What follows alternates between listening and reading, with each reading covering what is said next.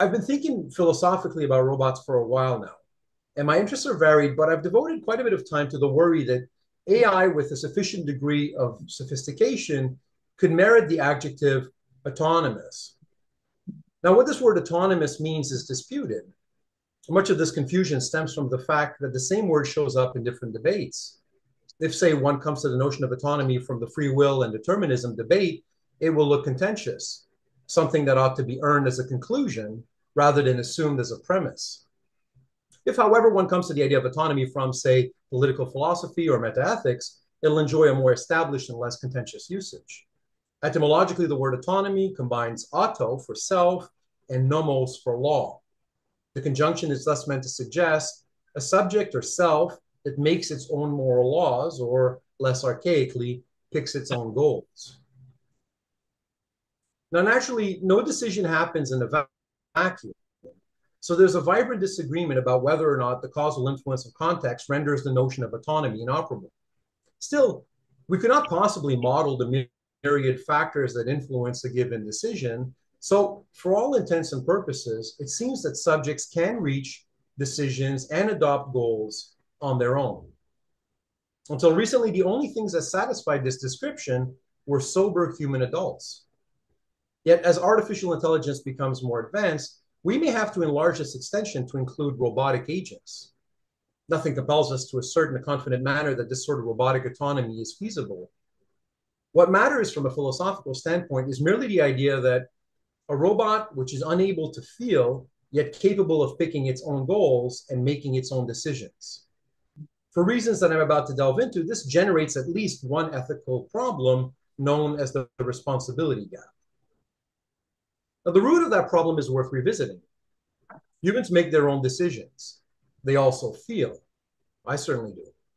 So when a human acts or decides badly, we can punish that human by making it experience pain.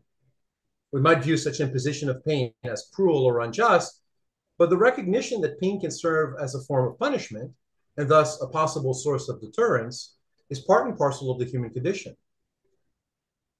Hence, from time immemorial, the possibility of experiencing pain of any sort or degree has brought some measure of social stability in the face of individual autonomy. True, a human can act in its own ways and in a way that another person or group disapproves of, but through various institutions and practices that all in their different ways dispense pain, we can constrain what others do.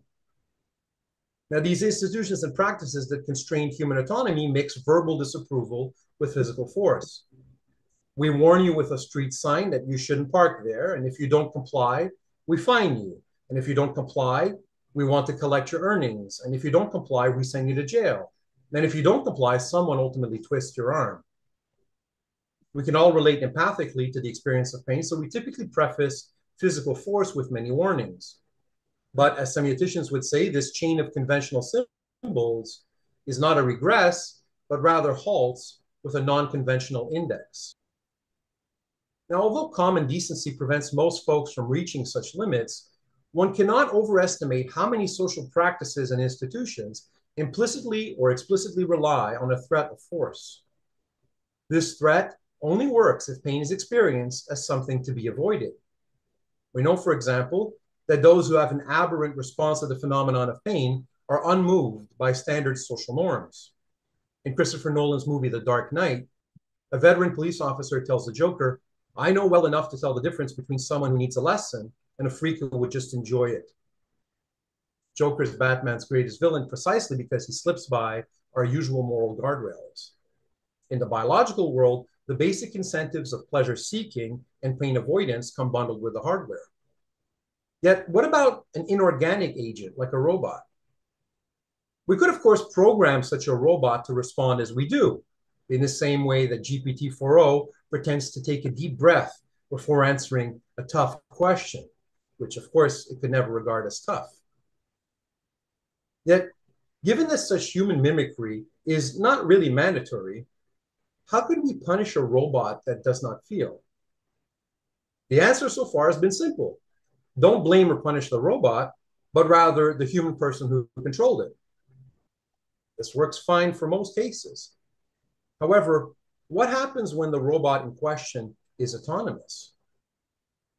And going back to the definitional remarks I made earlier, saying that a robot is autonomous is equivalent to saying that it is out of our control. So if what you're dealing with is an autonomous robot, then you can no longer blame or punish the person who controlled it, since no one controlled it. Now, at this juncture, one could object that this describes a philosophical possibility that will never be technologically realized. Part of me hopes that that's the case. If, however, we ever do come face to face with a machine that is both unfeeling and autonomous, then from an ethical standpoint, we'll have a problem. In the literature, this problem is called the responsibility gap. When a robot does something bad, insert whatever bad action you want here, we want to hold someone responsible but cannot. We cannot blame the robot because it can't truly care, nor can we blame any human operator because there was none. For many, this scenario seems like the worst of both worlds. Now, scholars like me who write about this usually make a fuss about distinguishing blame, punishment, responsibility, answerability, and whatever other concept is available and trending in one's natural language. However, given that such semantic hair splitting risks moving us away from clarity, I think the expression responsibility gap tells us all we need to know. If X is a robot and X is autonomous and X acts badly, then moral responsibility has nowhere to go. Now, I first addressed this issue at a conference in the UK in 2012. So I've been monitoring the debates for over a decade, and I can attest that the literature on the responsibility gap is vast.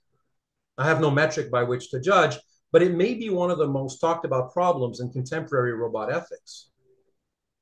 Andreas Matthias of Lingnan University identified the responsibility gap as a problem and gave it its name in a 2004 paper that's now been cited close to a thousand times. Three years later, in 2007, Robert Sparrow of Monash University published his influential piece, Killer Robots, also cited a thousand times, which argued that the responsibility gap justified banning autonomous robots altogether, at least in military contexts. Ron Arkin of Georgia Tech countered that such robots could be more moral than us. Now, my Canadian colleague Ryan Tonkens and I jumped into, into the fray around that time, and we argued that a human can voluntarily accept blame in advance for the robot's acts. Maximilian Kiener of Hamburg University recently took our proposal farther by suggesting that a human might accept blame for a robot after it had acted badly. Daniel Tigard of the University of San Diego argues that the problem prompting these various responses doesn't even exist. Now, as one would expect from a debate that's in full swing, as you can see, ethicists are all over the place in the positions that they adopt. Having smart people defend a plurality of viewpoints lets us test the merit of those views, so I'm all for it. Recently, however, one new stance caused me to pause.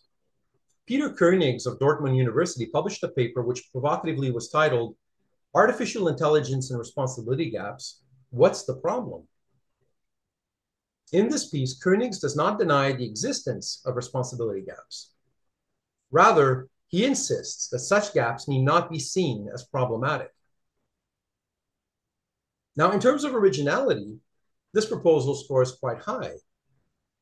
Indeed, apart from Koenigs, the only person I've seen defending a similar view is a postdoctoral fellow at Harvard University named Huzeyfe Demirtas. Since Dermitas' arguments are found mainly in his doctoral dissertation for the time being, I'm devoting the bulk of my attention to the paper that Koenigs published in the 2022 volume of Ethics and Information Technology. Like myself and many others, Koenigs writes about the difficulty of allocating responsibility for the actions of an autonomous system especially when the autonomous system causes harm or damage. However, what makes him stand out is his insistence that, quote, assuming that responsibility gaps occur, more must be said about why we should be concerned about such gaps in the first place, end quote. It is true that from Matthias's 2004 paper onward, few ethicists ever really justified why a gap in responsibility should be regarded as problematic we all just assume that releasing unpunishable machines, not morally traceable to any human decider, would betoken a step back and not a step forward. Even if I do not think Koenig's stance is tenable, one of the merits of his work is that it's forcing us to make that key assumption explicit. The repercussions of a responsibility vacuum are most apparent in the case of automated warfare, but Matthias also gave the nice example of an autonomous Mars exploration vehicle. Unlike remotely controlled vehicles, a Mars rover equipped with a suitably developed AI system could take charge of its own integration, navigation, and control system in a way that enables it to avoid obstacles autonomously. Importantly, this AI would learn and make its decisions independently of what anyone on Earth thinks. So imagine that the vehicle must decide whether a downward slope is too steep to descend. There's a ditch nearby, so this really matters. Owing to an inscrutable distribution of weights in the hidden layers of its neural network, it decides to go ahead and roll down the steep hill. This, it turns out, was a bad judgment call. So the vehicle tumbles down and falls into the hole. Let me quote Matthias. Who is responsible? The operator? Obviously not, since what caused the vehicle to disappear into the hole was not a manual control command, but a decision taken by the machine's control software itself. So can the programmer be held responsible? He can deny responsibility by saying that the algorithm used was appropriate and correctly implemented. End quote. I don't think that folks like Koenigs who are unimpressed by the responsibility gap have given sufficient thought to the unique conditions that motivate it. The programmer on Earth does not say that she cannot be blamed because what happened on Mars was an accident. It wasn't an accident. The AI did exactly what we were hoping it would do, namely, make a tough decision on its own without our input. As a result, the programmer can say that she cannot be blamed because the algorithm was correctly implemented. Part of what makes Koenigs dismissive of the problem's magnitude, prevalence, and significance is that he looks mainly at cases involving some form of human negligence or malice. Koenigs confesses that he didn't quite understand Matthias's original characterization of the responsibility gap. So I suspect that Koenigs may have missed the point. One drawback of having a much cited paper is that scholars no longer feel a need to give it a close reading. It's almost as if Koenigs read Matthias's Mars example and misread the programmer as saying that the vehicle's algorithm was incorrectly implemented. This unwarranted change dramatically denatures the situation. But it's understandable. We're far more familiar with harms resulting from accidents, negligence, and malice so it's vital to underscore the distinctive moral conundrum that arises when a robot is autonomous. The decisional self-reliance of such a robot is causally and informationally uncoupled from human inputs. So it exculpates any and all humans, be they programmers, developers, investors, and so on. In the case of non-autonomous robots, a human's always in the loop. Alas, this human involvement no longer holds in the case of autonomous robots. Aiming to carve out a novel stance, Koenigs contends that this lack of human involvement need not bother us.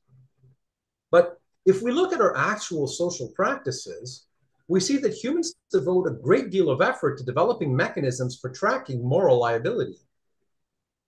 One such mechanism, which I've discussed at length in other works, is the promise if the NASA programmer is on record as having vouched voluntarily and beforehand that the autonomous vehicle would never fall into a Martian hole, then the conundrum about where to assign moral responsibility is quickly settled. The trouble is that, absence the issuance of such a blank check, our desire to find a culprit is left unsatisfied. Presumably, a Mars vehicle is a costly thing to lose or break. The Mars vehicle would not care if we blamed it, and the programmer could sue us and win if we shifted the blame to her, since the machine learning technology at hand allows her to demonstrate, quite rightly, that she had no say in what transpired. When you have a robot capable of machine learning, the rules by which they act are not fixed during the production process, but can be changed during the operation of the machine by the machine itself.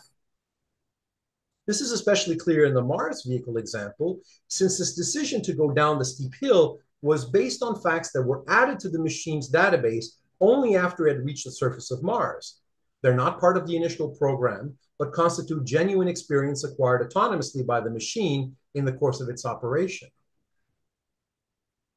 To the extent that this enables autonomous decisions, we confront, to quote Matthias, an increasing class of machine actions where traditional ways of responsibility ascription are not compatible with our sense of justice, given that nobody has enough control over the machine's actions to be able to assume the responsibility for them. Now, as mentioned, Koenigs holds that this responsibility gap exists, but is not problematic. As he puts it, if and when responsibility gaps do occur, we need not be too concerned about them, his words. Yet, since the feasibility of a stance depends on the concepts and commitments it combines, I submit that on a proper understanding of what responsibility is and gap metaphorically means, their joint endorsement must repel an attitude of indifference. A distinction can indeed be made between existing and being problematic. It's fully possible, for example, for a hurricane to occur at sea in a way that is not morally or practically problematic for anyone. Yet, what happens when this conceptual analysis switches from hurricane to, say, calamity? Can a calamity exist yet fail to be problematic? The analytic synthetic distinction may be blurry, but most would agree that a calamity involves loss and suffering by one or more people.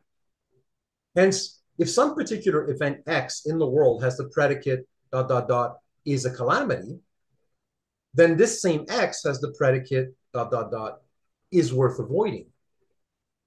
A similar analytic entailment applies, I contend, to the responsibility gap. This word, responsibility, figures in our evaluative lexicon, if anything does.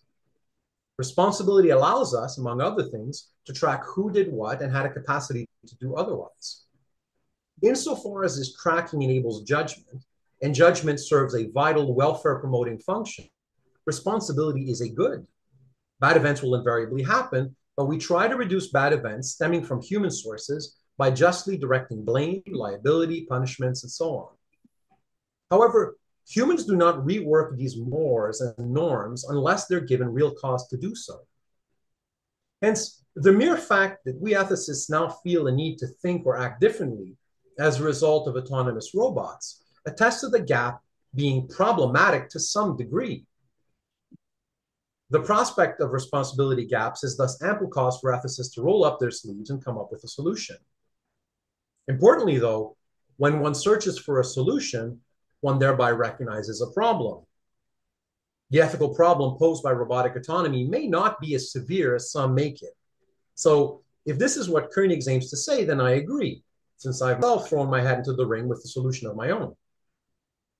However, to say, as Koenigs does, that, quote, there's little positive reason to believe that problematic responsibility gaps exist is simply too strong, since such a claim dissolves under conceptual analysis. This, my friends, at any rate, is the gist of the argument that I wanted to share with you today.